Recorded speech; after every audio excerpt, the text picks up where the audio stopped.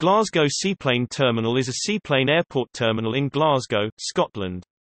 It opened in August 2007. The terminal is located in the Princes Dock adjacent Glasgow Science Centre in the Pacific Quay area of the city. The city also has two international airports, Glasgow Airport and Glasgow Prestwick Airport, although both are located outside the city.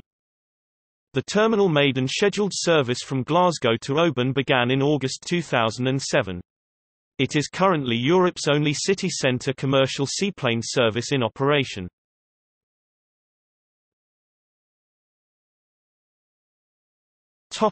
History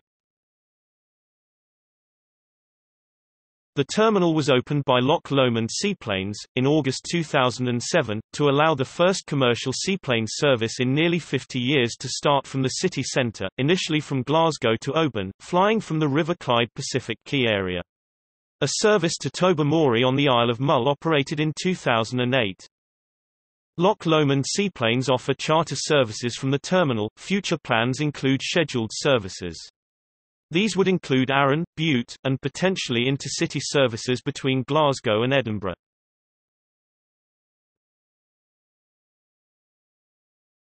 Topic: Services. Loch Lomond Seaplanes, Oban, Tobermory.